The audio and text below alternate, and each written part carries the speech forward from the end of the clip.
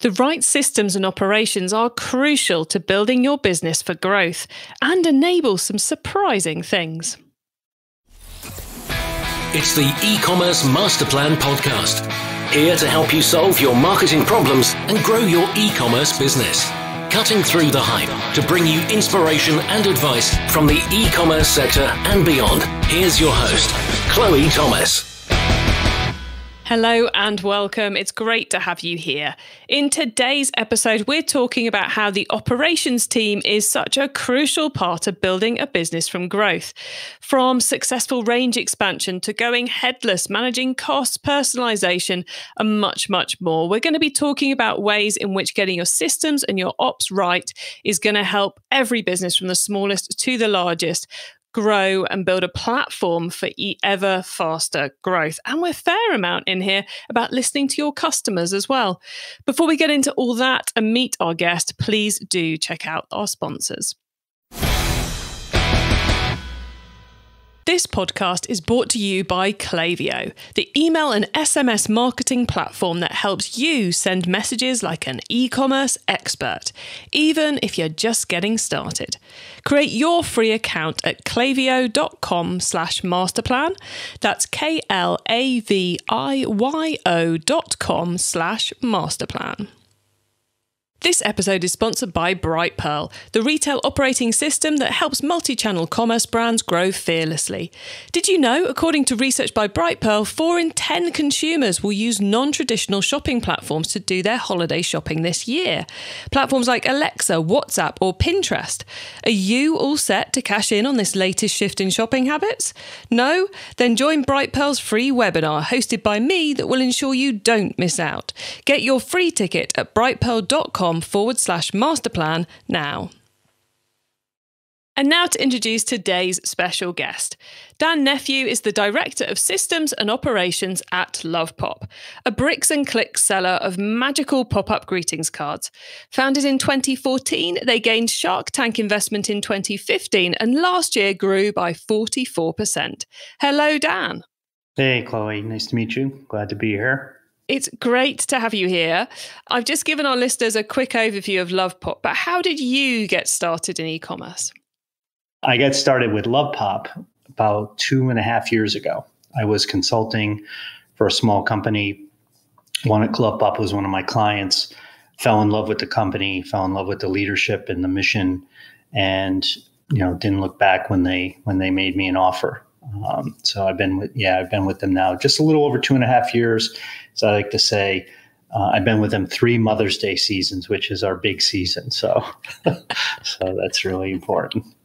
yeah, I, I used to work for a gift retailer a very long time ago. And I always think I did two Christmases because that was the, you know, it's not about how many months or how many years you're there, it's how many big seasons you did. Yes. So, yeah, I, I get that three Mother's Day completely, which is, is, um, strikes me as a slightly surprising holiday time to do it. But I guess is that because you know so much of the pop up cards and the other products is it because they're flower based? Is it is it just evolved to become a really big Mother's Day piece? So yes, to answer the question directly, but our seasons kind of run. We run. We're very seasonal. Holiday, Christmas, right, is always a big season for us. But Valentine's Day, even bigger. Shorter but bigger, and then the granddaddy. Our Christmas, as I like to say, is Mother's Day.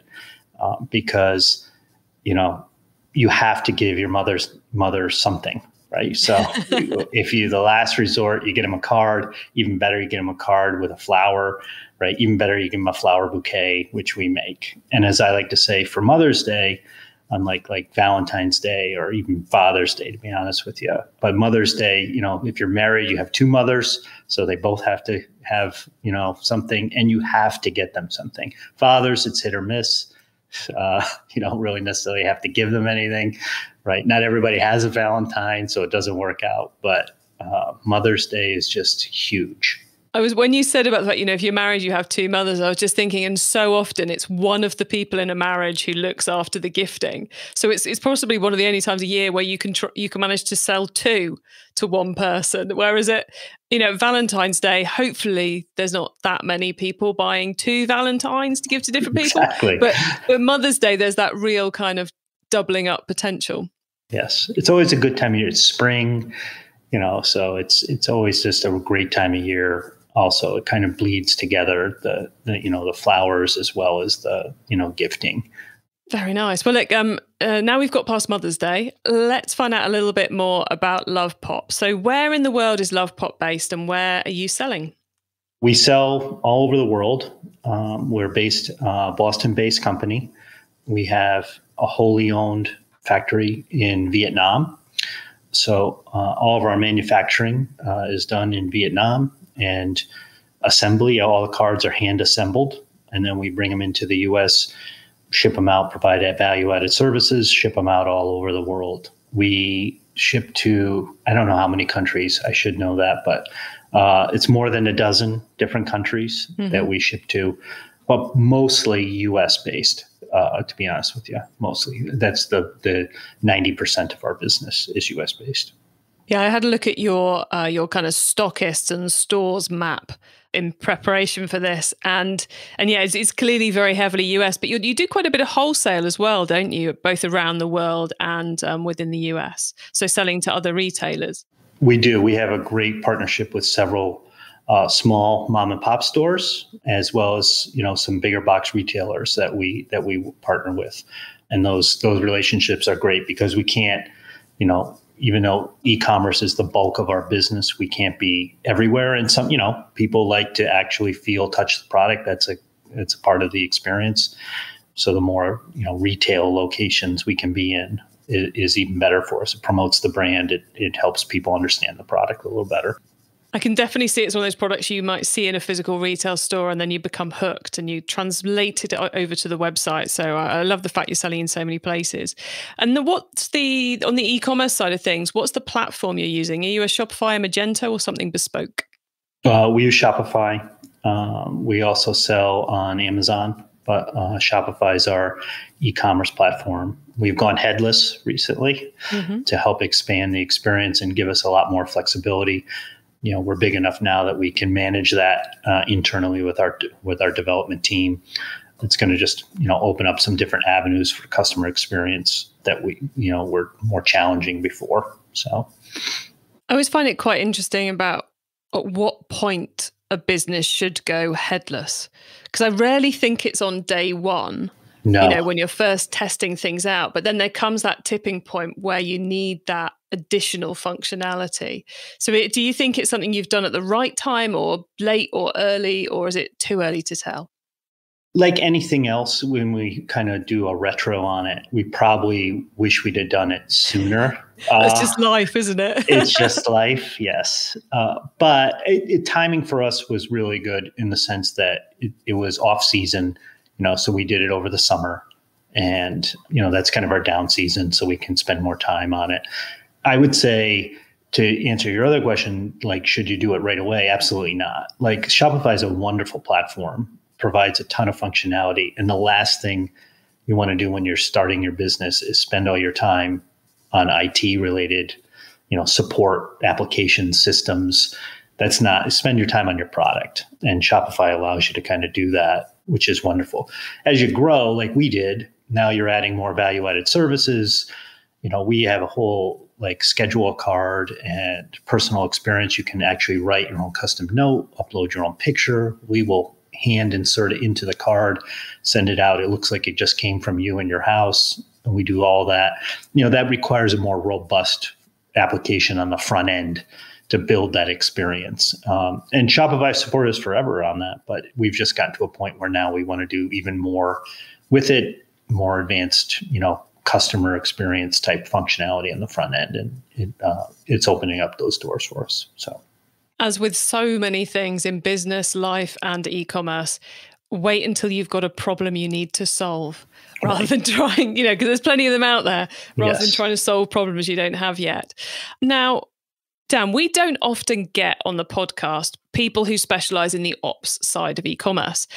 Hmm. However, over over the last couple of months, we seem to have been covering an awful lot of back end stuff on the show, which I think is entirely right because of the huge shift in online spending we've had over over recent months and over the last 18 months. It seems that and the, the developments that are happening in the space, it seems like it's exactly the right time to be shining a bit more of a light on the back end of things. But as somebody who works in that day to day within an e-commerce business have you found that you're getting kind of called into discussions more often than normal is there more light being shone on you as well as the topic yes actually uh, i mean i was brought in to help kind of support that our back end systems when i started you know we were grossly outgrew they served a purpose that kind of got us up and running kept track of the inventory kinda um, you know, helped us manage costs, kinda. But you know, as we got more complex, we needed better, just far better systems to help manage that. And when I came in, we ended up implementing a system called Brightpearl, uh, which has been hugely valuable to kind of support that that back end order management, inventory management, supply chain enablement functionality for us. And yes, I think it is critically important. Obviously, that's what I do. Um, but as I like to say, you know, we, I, I didn't coin the saying, but another partner of mine did. Uh, we deliver on the promise, right? We deliver the magical moments for our business. So you, it's kind of both have to work together. You got to have great products, great ideas, great marketing, but you also have to be able to deliver on that. And more and more, the, the experience is based on the delivery and that's what people remember. So if that piece is poor or not great, and in our case, you know, if we can't deliver within a couple days, if you know cards come damaged, right? If you know we can't uh, provide the services that we want, like customization, it's all it just all doesn't help. Uh, so those systems have to on the back end be very robust to be able to support that. Because in any e-commerce business, it's it's a moment of truth when the customer gets the product and you want them to be happy and excited and to love it because that's going to lead them to spend more money with you and come back and all those great things and, and tell their friends about you as well but that's you know for most e-commerce businesses they are delivering to the person who placed the order and when it arrives isn't that important However, when you are delivering someone's Mother's Day gift, mm-hmm. it's got to arrive at the right time. You're not delivering it to the person who ordered it. So you've kind of got all the trust of the person who ordered to say, you better get this right, otherwise my mother or my mother-in-law is not going to be impressed with me. Right. So it, it's it really raises the bar a bit, doesn't it? It's like it becomes ever more crucial. There's a lot more for you to lose as a business if you don't get it spot on. Yes. Yep. Absolutely. We I mean we have people ordering Valentine's Day cards now. Wow. Probably because they screwed up last year and forgot. Uh, right. so, uh, but yes, you can schedule out, and that you know that's one of those things. And then, you know, people check that off their list. They're done with it, and then they remember, oh yeah, that's right, I got that, I got that taken care of. And then if you don't follow through on it, you're in trouble, right? So, mm. that's that's all part of it. And then when uh, when all the the elements of personalization is added into the mix, it just gets a whole load more complicated. But yes. one of the things I wanted to ask you about is I think there's there's often this this perception that the ops piece starts from after checkout has happened. You know, it's kind of like, well, we do all the clever marketing, we do the clever segmentation, we design some awesome products, we get the website working really well. And then people place orders and we just go, Dan, here's some orders, do your Fill thing, it. you know? And actually, it strikes me that true ops really gets involved in every part of the business. It's not just a here's some orders, deal with them. Go worry about the warehouse and the couriers and leave us with everything else. So, do you find you get involved in every stage of the business?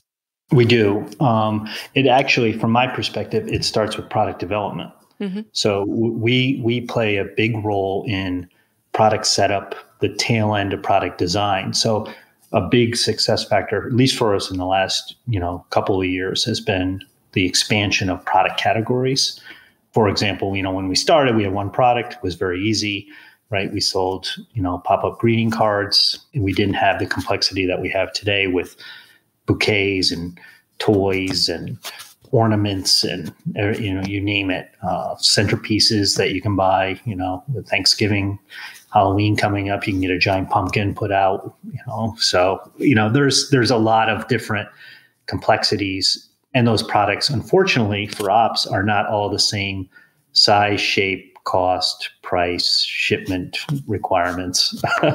they are all very different. and so we get involved way up front, make sure that how are you going to ship this product? Right? Um, how are we going to store this product? What's the experience going to be like for the for the customer? And to make sure that the supply chain components and the system supporting all that can systemically fulfill on what marketing and design and our product development teams envision it to be and they're not just assuming oh we can create whatever we want and ops will figure it out. Uh, we try to figure it out ahead of time so that we're all coordinated throughout the whole life cycle of a product. I guess it is or not quite a negotiation because you're all on the same team and you're all striving for the same ends, which is a cost effective product, which the customers love and buy loads of. But there is that kind of negotiation between the vision of the product developers and the marketing team and what is feasibly possible. So I think sometimes it can be the case that that that negotiation can break down in a business and the ops guy becomes the guy who says no. Mm. um, you know and the and the branding people become those annoying people with with those stupid ideas from the ops perspective. Um, clearly as a successful business who are expanding and who all all the all the products are not the same size you've got a good relationship going with that. Have you got any kind of tips for anyone who has those kind of headbutting moments to to really pull together and, and deliver good good good goods i suppose. Uh, don't say no. Uh, find a way.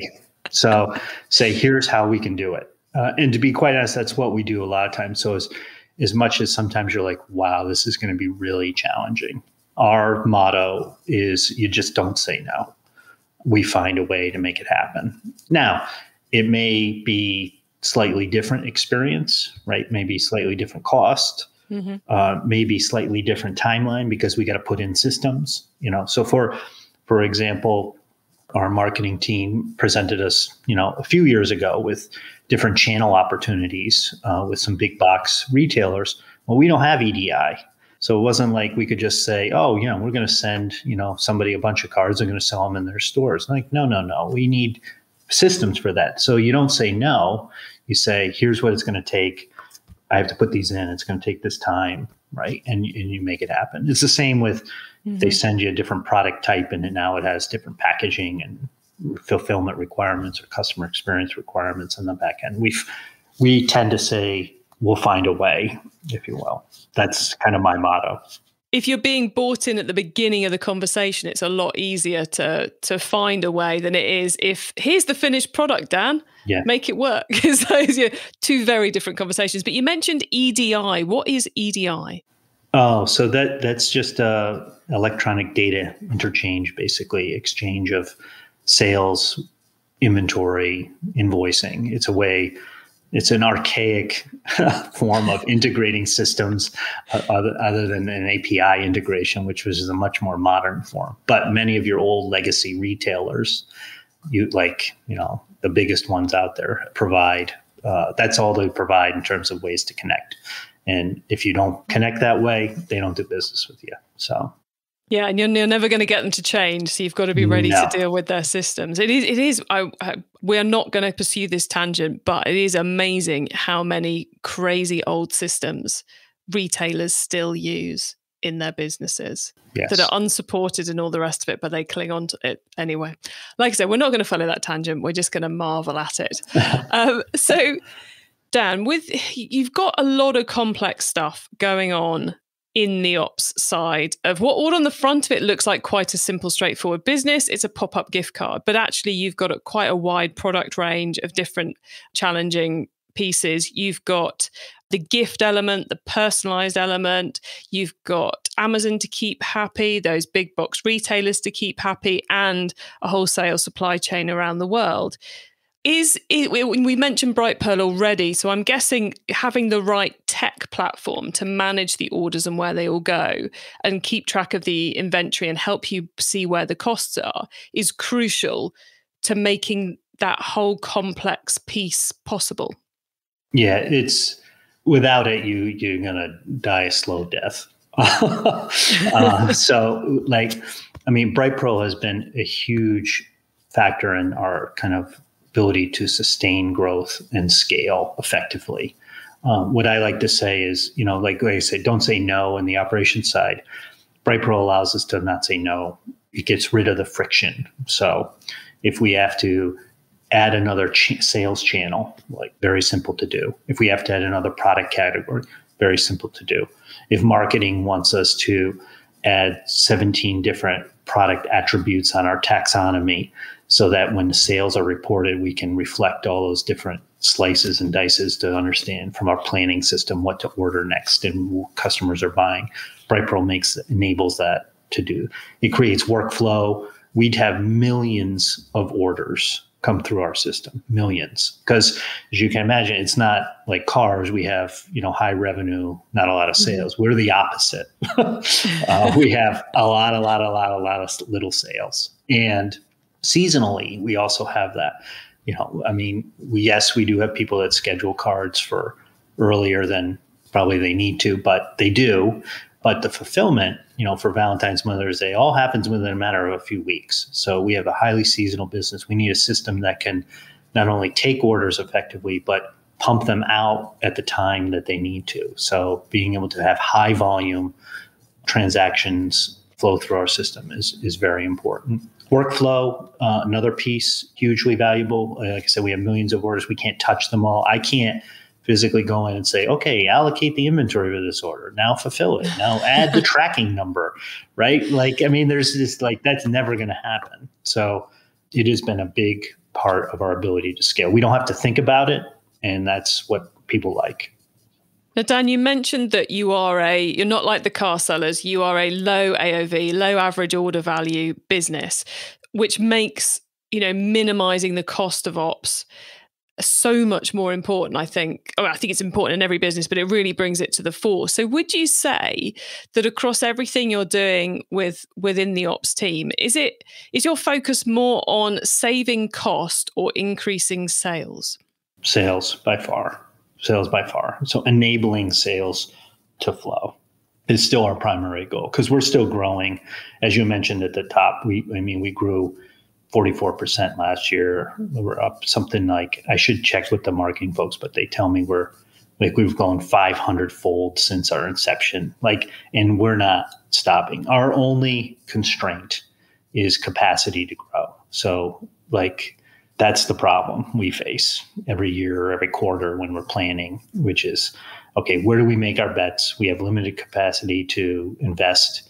We're going to try to invest in the most growth that we can. So it's less cost is always important. I mean, we can't, you know, we don't have our money doesn't grow on trees, but as they say, but uh, it is focused on sales and enabling those sales channels and enabling that flow. Anything to do with customer experience or sales.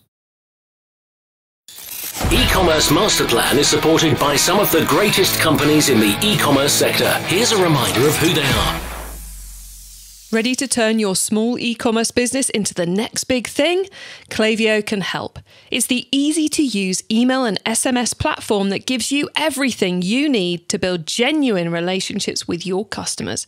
And even if you're new to marketing, Klaviyo can help you become an email expert with drag and drop design templates, simple insights, and made for e commerce reports and recommendations.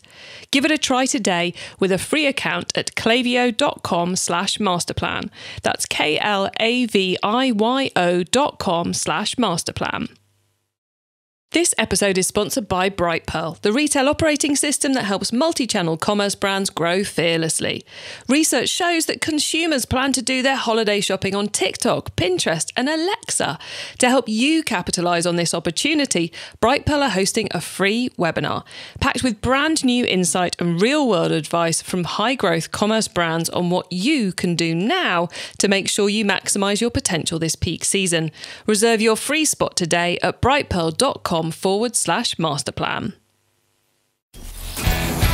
It's time for the top tips round. Okay, Dan, I love this section because it gives me and our listeners some really quick ideas for taking our business to the next level. So, are you ready for the top tips? Sure, bring them on. Here we go then. The book top tip. If everyone listening to this podcast agreed to take Friday off and read a book to make their business better, which book would you recommend? Oh boy full transparency, I'm not a book reader. So if you have Friday off, I would recommend you connect, uh, especially given the last year plus with this pandemic. Connection is is actually a core value at Lovepop. It's one of those things that makes us who we are. I would actually say, don't tell my daughter this because I she reads all the time and I think it's wonderful. But put down the book uh, and go connect with somebody uh, and have an experience would be my recommendation right now. I love that. I'm a big lover of books too, but I think certainly a lot of the time connection's what we need. And at the moment, even those of us who want to go and hide in the books, it's probably a good idea too. It's a very, very timely advice there, Dan. Thank you. Uh, okay, the traffic top tip. Which marketing method do you either prize above all others or think doesn't get the press it deserves? We do a lot of Facebook advertising. Um, we do a lot of email marketing uh, as well. I think both are extremely valuable. So, like our brand marketing, we do a lot of Facebook advertising, and it's it's very valuable. It's easy to connect uh, with a lot of people. You get immediate feedback, which I think is something that is re- you don't have to spend hours and months and days creating marketing campaigns to only find out that it didn't work. Like mm-hmm. you get immediate feedback, so that is a huge channel that's for us that, that is con- we're going to continue to leverage. And then on the other side, the email marketing that's that's you know like I guess from a cost standpoint, I know we don't normally talk about cost, but it's really inexpensive. it doesn't yeah. take much to send an email uh, to people that want them, obviously, right? So that's that's always the rub. People don't like too many emails, but people do enjoy them too. So it's I would say those two channels don't get enough kind of they're inexpensive. They get you get great feedback right away, and from a marketing standpoint, that's what you want. Most certainly is. Okay, the tool top tip maybe a collaboration tool, a social media plugin, a phone app, or just a way of working. Is there a cool little tool you use that makes you and your team more efficient from day to day? We have a lot. Um, so I'm on the system side too, and I I can't tell you how many systems we have. One that I use all the time, and we actually now have partners that we we request also use it is Slack. I can't tell you how many channels I have, how many Slack messages I get a day. The collaboration that it that allows you, especially in supply chain. So, like, we can communicate directly with our 3PL on order issues or changes we want to make or projects we're working on and it's just so efficient and just the plugins it has if you know something's turning into something you don't want to type you can quickly jump on a zoom call keep collaborating share documents and files it's hugely valuable tool for us in our business Excellent. And I think probably now the most popular tool to be mentioned on this podcast. Is it really? Um, yeah. yeah. It doesn't surprise yeah. me. I mean, they, it's great. And no knock against Microsoft and Teams. It, it's just not the same. Okay, the growth top tip then. If you met someone today who's focused on growing their e commerce business from 100 orders per month to 1,000, what would be your number one tip for them? Connect. So, getting back to the connection. So, know your customer. And it's interesting. So, the bulk of our business is e commerce by, and by and large, but we started retail like we started with a little you know i wasn't around but you know they started with a little kiosk selling the product and showing people the product engaging people. And our retail presence is still really valuable to get that customer interaction and understanding of how they interact with the product what they like what they don't like. I would say if you're that early in your journey connect with every single person that buys your product and ask them why they bought it. That would be my advice Perfect advice. I love that advice because it works for businesses of all sizes. Whether you're trying to get from 100 to 1,000 or from 1,000 to 10,000, the answer almost always lies with the customers if you just take the time to listen to them. Dan, that's been awesome. Before we say goodbye, could you please let the listeners know where they can find you and the business on web and social media, please? Sure. Um, so Google us at lovepop.com. Very simple you can find us on all our wonderful products. And then I'm on LinkedIn if you want to look me up, Dan Nephew. So uh, more than happy to chat with you. Anybody who loves to collaborate on anything related to customer experience or systems, you know, feel, please feel free to reach out. Excellent. You had to say that bit about connecting at the end there, Dan, after those answers you've been giving us. Um, well, look, Dan, thank you so much for being on the e-commerce master plan podcast today. It's been lovely talking about the big picture that is getting your ops right. Um, and thanks for sharing so much as well. It's been a pleasure. Thank you. Appreciate it.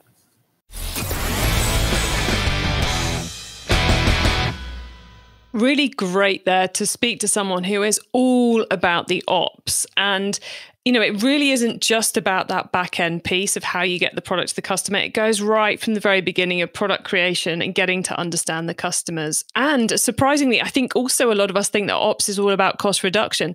Clearly, from what Dan's saying, it's more about making sure there's the space to enable the growth for the business through the suppliers they're using, through how they're working with people, through how they're building the systems and the processes in the business.